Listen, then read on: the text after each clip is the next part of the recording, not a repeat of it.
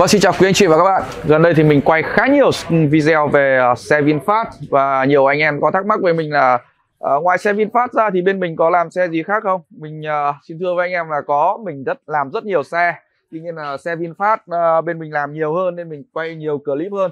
Thì uh, hiện nay hôm nay mình sẽ uh, quay một cái clip về một chiếc xe khác xe VinFast, đó là chiếc xe mình đang ngồi đây. Đây là chiếc xe Tucson 2020 và chiếc xe này vẫn chưa ra biển anh em nhé. Hôm nay mình chia sẻ gì về chiếc xe này? Chiếc xe này sẽ được độ những trang bị cơ bản khi ra khỏi xưởng và những trang bị này sẽ nên độ trên xe. Mình sẽ chia sẻ về những trang bị nên độ trên một chiếc xe và tại sao nên độ những trang bị đó trên chiếc xe. Thì đầu tiên khi ra khỏi xưởng anh em phải dán kính trước, đó là dán phim đó các anh em ạ.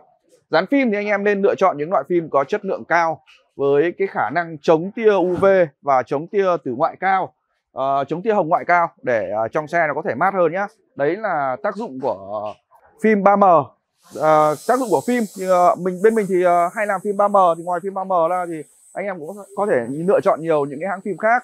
Nhưng mà khách hàng ở bên mình đến đây thì uh, khá nhiều người thích phim 3M và mình làm sẽ về chuyên về phim 3M hơn.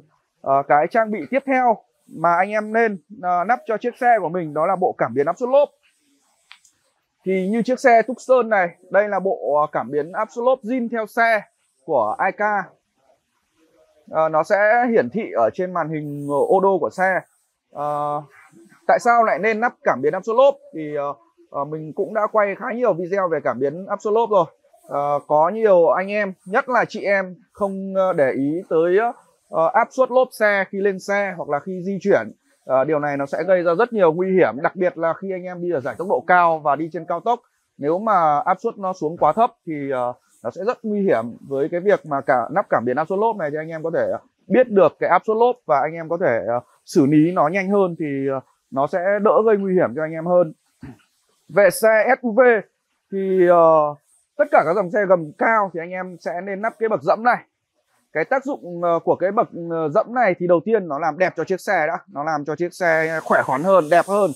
À, cái tác dụng thứ hai là như anh em biết là hôm nay trời đang mưa rất to thì khi anh em đi ngoài trời mưa thì sẽ có bùn đất ở giày dép anh em. Thì khi anh em bước lên xe nó sẽ rất bẩn chiếc xe của anh em. Và khi có những cái bệ dẫm này thì anh em có thể uh, trước khi lên xe anh em có thể uh, để chân lên đây để uh, bùn đất nó sẽ uh, rơi xuống dưới đi và nó sẽ đỡ bẩn hơn ở trên xe à, đối với những người thấp như mình cũng là một người ờ, không cao lắm thì uh, bước lên chiếc xe gầm cao này nó cũng sẽ dễ hơn khi mà ở vị trí này chúng ta có thể bước chân lên đây trước khi lên xe uh, thay vì chúng ta phải bước cố lên xe như thế này.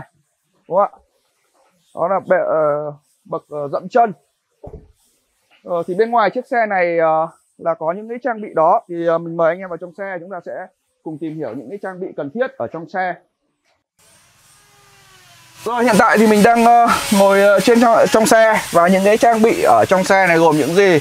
Thì uh, cái trang bị quan trọng nhất đối với một chiếc xe khi xuất xưởng mà anh em uh, có thể uh, nắp đó là chiếc camera hành trình. Nó sẽ có cái tác dụng gì? Nó có tác dụng ghi lại hành trình ở trên xe cho anh em.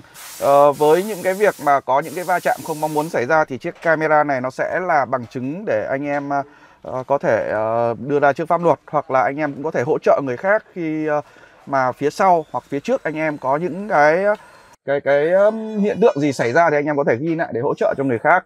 à, ngoài ra thì camera hành trình bây giờ nó có rất nhiều thêm rất nhiều chức năng như chiếc camera hành trình Vietmap KC01 này thì uh, theo như mình uh, ở bên mình làm ấy, mình uh, trực tiếp làm thì uh, chiếc camera Vietmap KC01 này là được anh em ưa chuộng nhất uh, do là nó nhỏ gọn anh em có thể thấy là nó nhỏ gọn ở đây và nó không hề vướng gì hết. Uh, cái thứ hai là cái uh, cái tính năng của nó cái tính năng thêm của nó ở đây là nó sẽ báo biển báo giao thông cho anh em trên mọi cung đường. Và cái biển báo này nó sẽ có một cái lợi thế là uh, nó chạy bằng cái data của Vietmap uh, cái data có sẵn của Vietmap cho nên là nó những cái biển báo mà bị khuất thì nó cũng sẽ báo được cho anh em nó khác với cái cảm biến mà nhận diện biển báo ở trên đường thì uh, cái này nó là một cái lợi thế rất lớn của Vietnet đây là cái data, data độc quyền của Vietnet chỉ Vietnet mới có thôi. Nên là chiếc camera này uh, uh, rất được bán chạy ở bên mình. Hầu như là khách đến là đều yêu cầu nắp camera này. Uh, cái lợi thế của nó nữa là cả hai camera của nó cũng đều rất là nhỏ gọn. Chiếc camera trước nó to hơn chiếc camera sau một chút nhưng nó rất nhỏ như này. Và chiếc camera ở phía sau kia thì nó còn nhỏ hơn và cái ghi hình của nó lên tới 2K và camera sau của nó là Full HD cho nên anh em hoàn toàn yên tâm về chất lượng hình ảnh khi uh, sử dụng chiếc camera hành trình Vietmap này nhá. Uh, ngoài camera hành trình Vietmap này ra thì các anh em cũng có thể nhiều lựa chọn khác. Ví dụ như là camera hành trình Kogamichi này uh, cao cấp hơn thì có iRod của Hàn Quốc này uh, Blackview của Hàn Quốc này hoặc là uh, mức giá mềm hơn thì có thể là camera hành trình của Kakam nó có rất nhiều mã từ 1 triệu đến 3 triệu. Đó thì uh, nó có rất nhiều lựa chọn cho anh em. Uh, trang bị tiếp theo ở trên xe này thì uh, trang bị này thì uh, thực ra uh, không phải là trang bị uh, gần như là bắt buộc mà là trang bị uh, giải trí ở trên xe đó là chiếc màn hình giải trí trung tâm uh, của Kogamichi. Như anh em thấy ở đây thì đây là chiếc uh, màn hình uh, Kogamichi liền với camera 360 độ. Ở đây là thế hệ màn hình mới nhất của Kogamichi và uh, nó là một cái màn hình uh, chất lượng cao. Uh, đi cùng với đó thì anh em cũng có rất nhiều lựa chọn về màn hình khác. Ví dụ như là GoTech, Ztech, OLED uh, thì anh em uh, nên lựa chọn những cái màn hình nó có cái thương hiệu tốt và cái uh, chất lượng của nó sẽ tốt hơn. Đặc biệt là những cái màn hình ví dụ như là màn hình Kogamichi này thì thời gian bảo hành của nó lên tới 2 năm cho nên là anh em yên tâm về chất lượng cũng như là thời gian sử dụng về chiếc màn hình giải trí trung tâm này thì ờ, không bắt buộc anh em phải thay đó là sở thích của anh em thôi. Còn uh, camera 360 độ ở trên một chiếc xe thì uh, mình cũng nghe nhiều ý kiến của anh em nói là không cần thiết. Tuy nhiên là với cái điều kiện uh, giao thông phức tạp như ở Việt Nam thì anh em uh, nên lắp đặc biệt là chị em. Thì uh, chiếc camera này nó có nhiều cái tác dụng ví dụ như là khi anh em lùi anh em có thể quan sát được ở cả hai bên hông xe lẫn đằng sau xe này. Khi anh em uh, khi anh em đi ở vị trí đường hẹp hoặc anh em đi uh, ở hai bên này thì uh, uh, chiếc camera này sẽ quay được cả hai bên thân xe này cả hai bên bánh xe này đó. Và ở anh em quan sát ở trên mô hình này anh em cũng có thể hoàn toàn xem được các vật cản khi mà anh em uh, di chuyển. Đây uh, là một cái trang bị rất cần thiết khi anh em uh, đi ở những cái cung đường hẹp hoặc là bị tắc đường chẳng hạn. Thì uh, chiếc camera này nó sẽ rất là uh, Ờ, cần thiết. Uh, chiếc camera này nó còn uh, lợi thế ở một cái là nó tích hợp vào cái màn hình này nên anh em hoàn toàn có thể điều khiển cảm ứng ở trên uh, màn hình. Đó.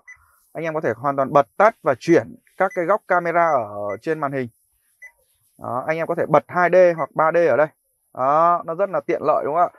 Về cái màn hình giải trí của Gamichi này thì nó cũng giống như tất cả các màn hình giải trí cao cấp khác ở trên thị trường. Ngoài những tính năng như ví dụ như là nghe nhạc này xem YouTube này rồi uh, kết nối điện thoại này thì anh em còn có một cái rất quan trọng đó là trợ lý ảo. Uh, trợ lý ảo để anh em có thể uh, ra lệnh bằng uh, giọng nói ở trên này. Đây, như mình đang nói chuyện này thì uh, mic nó cũng đã nhận. Tuy nhiên là cái lệnh của mình nói nó không uh, uh, thích hợp. Mình chỉ muốn nói ở đây là nó rất là nhạy thôi. Như trên màn hình của các bạn đó là cái hình ảnh cảm biến Absolute của IK ở đây là bộ cảm biến Absolute Zin theo xe nên nó sẽ hiển thị ở trên màn hình Odo đó khi anh em à, đi thì anh em nếu mà anh em muốn ờ, quan sát Absolute thì anh em có thể bật nó lên. Ờ, và nó có một cái nữa là khi kết nối với điện thoại ờ, khi anh em kết nối cái uh, bộ cảm biến Absolute này với điện thoại thì khi lốp nó xuống dưới quá cái mức mà anh em cài đặt thì nó sẽ có tiếng kêu bíp bíp để cho báo hiệu cho anh em biết. Đó cũng là một cái rất là lợi thế của bộ cảm biến Absolute này. Đó là tất cả những cái trang bị mà mình đã lắp trên chiếc xe này à, có những cái trang bị à, theo mình là rất cần thiết ví dụ như ba trang bị đó là à, phim cách nhiệt đó là à, camera hành trình và cảm biến áp suất lốp ngoài ra thì anh em có thể bổ sung thêm các cái uh, trang bị khác ví dụ như là màn hình trung tâm camera 360 thậm chí anh em có thể còn có thể độ thêm được cái đèn ambient light cho uh, mọi chiếc xe nhé mọi chiếc xe đều có thể độ được và ghế điện, rồi ờ, các thứ đều anh em có thể đều độ được. Đó là sở thích của anh em. Còn ờ, những trang bị mình ờ, giới thiệu là những trang bị cần thiết khi anh em mua xe mới. Chiếc xe này thì được độ như thế, anh em thấy thế nào? Đã đủ để anh em đi hay chưa? Hay là anh em còn muốn độ thêm thì anh em nhớ comment ở bên dưới nhá. Ngoài chiếc xe Tucson 2020 này ra, thì hôm nay ở bên mình cũng có khá nhiều xe để độ. Tuy là hôm nay mưa nhưng mà bên mình khá nhiều xe. Đây là chiếc xe ờ, Kia ờ, uh, Cerato cũng độ màn hình niền cam và uh, một số trang bị khác như cam hành trình rồi dán kính. Uh, chiếc xe VinFast Fadin này cũng sẽ độ màn hình liền cam nhé anh em nhé. Trời mưa của anh em ạ. Ở trong này thì uh, có chiếc xe VinFast đang độ đèn và độ uh, nói chung là chiếc xe VinFast này độ full luôn rất nhiều uh, thứ. Ờ, ở phía sau kia thì uh, cũng có một chiếc xe VinFast NAC SA 2.0 đang độ uh, cũng khá nhiều các trang bị. Đó. À, còn nhiều xe khác nữa nhưng mà hôm nay uh, bên mình có khá nhiều xe rồi hẹn anh anh em uh, vào dịp khác để mình sẽ quay tiếp tục uh, các cái xe khác cho anh em. Anh em uh, cảm thấy bên mình uh, uh, những cái thiết bị bên mình thế nào? Thì anh em comment ở bên dưới nhé mình xin kết thúc video tại đây. Xin cảm ơn anh em đã theo dõi video của mình. Đừng quên bấm nút like subscribe và bấm chuông để theo dõi các video tiếp theo. Xin chào và hẹn gặp lại.